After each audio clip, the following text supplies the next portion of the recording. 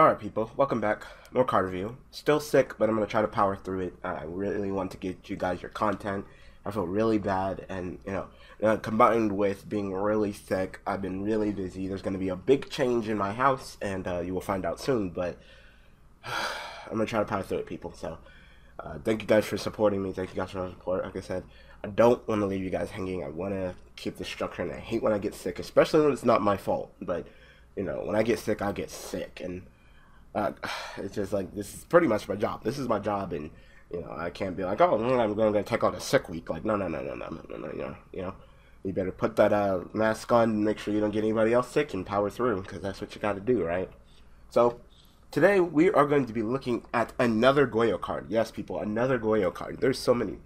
An interesting thing is, I watched the Yu-Gi-Oh! Arc-V anime, and I shit you not, this card was like shown, like the art and the card was shown. Of course, it was like had. Uh, you know, the Yu-Gi-Oh art on the anime, so you really couldn't see what it did. But you know, straight up saw this card at the end, and they were like, "Hey, spoiler! This card's going to be in the next episode, and it's supposed to be super good and powerful." And now all of a sudden, we actually got the effect and shit before I've even seen the episode. So I don't even know what the you know what the card does in anime. Usually, it's like, "Oh, see the card in anime," and then you know eventually comes as the real card. Like, no, it's the reverse this time. Anyway, this is yet another Goyo card. This is Goyo Emperor, people. So we got the Goyo Guardian, we got the Goyo Predator, we got the Goyo Defender, we got the Goyo, uh, was it Goyo? Well, in the anime, we have a card called Goyo King, and now Goyo Emperor. You know, what's next? Goyo God? Goyo God, anybody? Goyo God 2016? Okay, I'll stop. But seriously, they just keep on getting more and more powerful. So this is Goyo Emperor. As you can clearly see, it is not a synchro monster, but yet a fusion. So, Goyo Emperor is an Earth Warrior Fusion Effect Monster, level 10. Yes, people, level 10. That is it's pretty high. With 3,300 attack and 2,500 defense. So, uh, those stats are nothing to scoff at. How do you make it?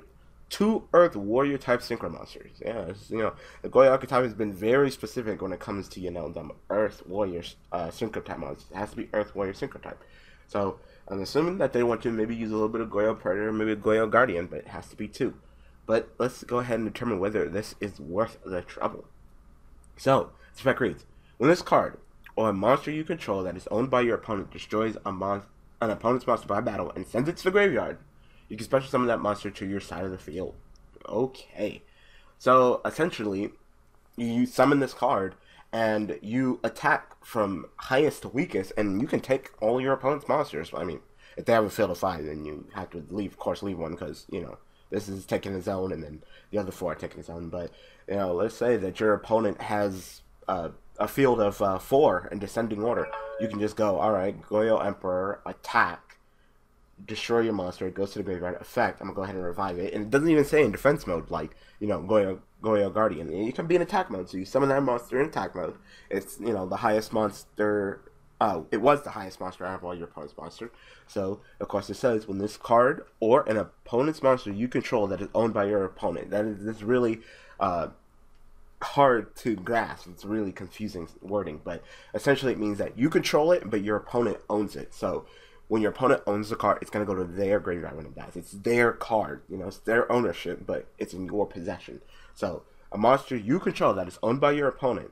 So, any monster that you take with the effect of you know one of the Goyos, whether it be Goyo Guardian, Goyo Predator, Goyo Emperor, any of them, a monster that your opponent owns that you control, you it will also get the snatch effect. So literally just in descending order, Goyo Emperor attack the strongest monster. All right, that goes to great effect. Give me your strong that monster.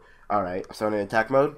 Now this monster, kill another monster, effect, give me that monster, attack, give me that monster, attack, give me that monster. So pretty much, uh, depending on how strong every single monster in your opponent's side field is, you can easily, uh, if you keep attacking and get your attacks due, and all the monsters go to the graveyard, you can take their entire field. You can take their entire field with this card because the monsters that you control that are owned by your opponent will also be able to go ahead and turn into uh, Goyo Guardians, mini Goyos, and snatch other cards up. So it's not a bad effect. It's not a bad effect. Of course, you know, it's not the best effect because, you know, uh, the whole destroy an opponent's monster by battle, send it to the graveyard, and revive it. It's not the best thing in Yu-Gi-Oh right now. I mean, you know, Goyo Guardian was banned at one point, and now it's at three. So you know, there's clearly a, a change in things. But uh, you can go ahead and pull this off with two Goyo Guardians or Goyo, you know, Predator or something along those lines, or more Goyo cards if we get them. then it's not bad. It's not bad. I can definitely see how this is the boss monster. So, it has more effects though. So, uh, when your opponent will special summon a monster, monsters, uh, this so inherent summons, you contribute one Earth Warrior type Synchro monster and take control of that monster, monsters. So, pretty much when your opponent would inherent summon, you can go ahead and tribute a Warrior type Synchro monster to take control of them permanently. Permanently. So, thing with this is, is that pretty much your opponent can see it coming from a mile away, and uh, it might not be wise to go ahead and do an inherent summon when your opponent controls a warrior type synchro monster, Earth warrior type synchro monster. That would be pretty bad because they're just going to go ahead and, and, take it. Any inherent summon. So uh, the thing is, is that you just used uh, two Earth warrior type synchro monsters to summon this. So uh, to have a third one may not be likely, but hey, you know you could just be like, all right, well during your draw phase, I'm gonna activate Call the Haunted and summon back Goyo Guardian. There you go. So if your opponent even thinks about doing an inherent summon, I mean, and sometimes, like I said, your opponent can see it coming because it's right there on the field. There's no surprise factor. It's not like, oh, you did an inherent summon, Black Horn of Heaven. Bet you didn't see that coming. Ah ha ha ha. You know, your opponent can see it coming. But to say that that effect is bad is really not justified because there's also a card that stops inherent summons that you can see coming from a mile away, and that's Thunder King Rai-Oh. You can clearly see Thunder King Rai-Oh. You know that they can go ahead and attribute it to go ahead and stop an inherent summon. But, you know, you're pretty much gonna have to get rid of that Thunder King, or it's gonna get you. And this is probably like in the same boat. You know, unless you have some spells or traps to handle a situation. I mean, this monster is 3,300. You're going to have to do an inherent summon to get rid of it, and just the fact that it can protect itself from you know inherent summons just by being like, all right, tribute and gimme, like not even like negate the summon and destroy like Thunder King, like no, gimme permanently. Uh, that's pretty powerful. And, you know, there's a very uh, varying amount of inherent summons. You know, uh, sometimes it's good to go ahead and stop inherent summon. Inherent summons. Sometimes it's bad. You know, it depends. You know, if you're going up against Nekroz, none of those are inherent. You know, if you summon this and your opponent goes Shaddoll Fusion and summons like a construct from the deck, nah, that's not going to work either. So your Goyo uh, Emperor is going to get killed by that construct. But for example, if you're going up against you know Tellarknight, you know one of the ways that they uh, get rid of. Well, I guess not really work because Triff's like still gonna go off. Um, that's not a good example. Hmm, it's a good example. It's Please, they when they pen summon, that's inherent summon, so you can go ahead and if you have an Earth Warrior type Synchro monster, your opponent goes, Alright, I'm gonna pendulum summon like four Klees. You can be like, Alright, Emperor Effect, Tribute, give me all them Klee monsters. Yeah. Yeah, that powerful. You know, banish Dark and Light, summon BLS? Nah, give me that BLS. Summon JD? Nah, give me that JD. You know, so any inherent summon, very powerful, but uh, when your opponent would synchro summon. You know, if they want to go ahead and be like, all right, well, I'm going to go ahead and go into a hot red dragon and use my effect to destroy you. Like, nah, go ahead, give me that hot red. You know, Xyz into Castel. Nah, give me that Castel. So, uh, stop, you know, go ahead and snatch up inherent It's Not bad, not bad. And last effect.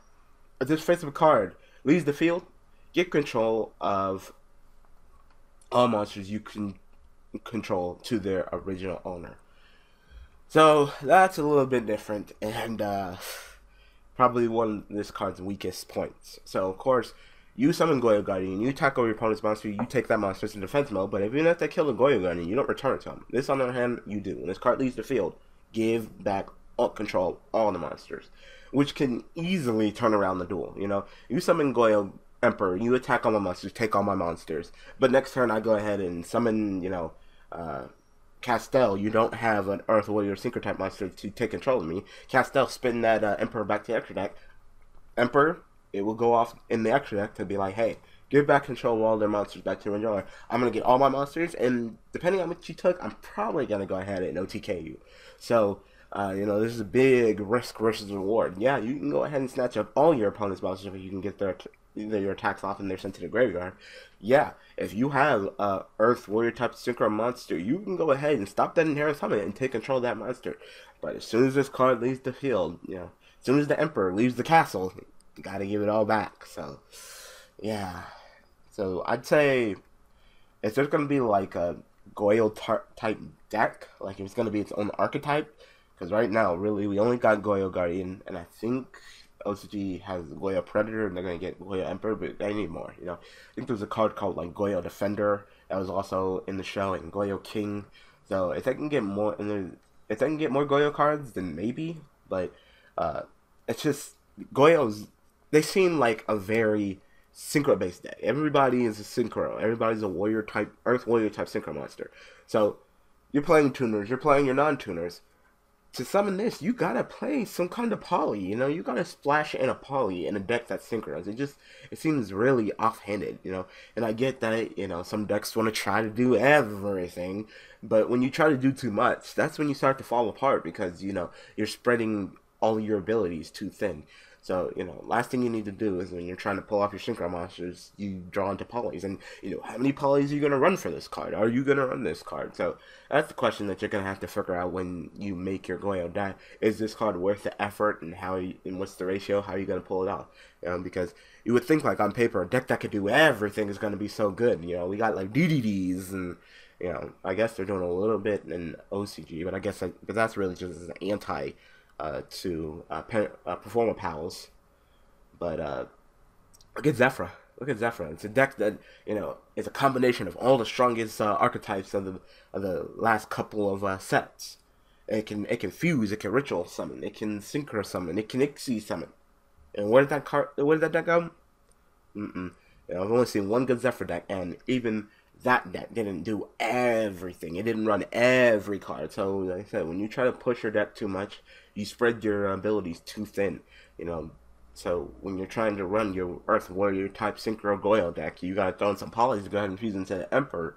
You know, and it's not like you can even be like, all right, let me go ahead and play the poly and then fuse two Goyos from my hand or something. Like, no, they have to be Earth Warrior type Synchro monsters on the field. You know, and unless they give uh, the Earth Warrior type Synchro Goyo like some kind of Goyo Miracle Fusion, so you can banish two Goyos from your graveyard to summon this. I just don't see how you're gonna pull it off without you know two warrior type synchro monsters Earth on the field. It's not worth the effort. So tell me what you guys think about Goyo Emperor in the comment section below. So like I said, still sync, so bear with me. If this uh, video wasn't as good quality as usual, I apologize, but I'm still gonna try to keep it 100. So I hope that you guys enjoyed. Thanks for watching. Thanks for all the support, and I will try to get you all your videos. I really am. All right, people. Thanks for watching.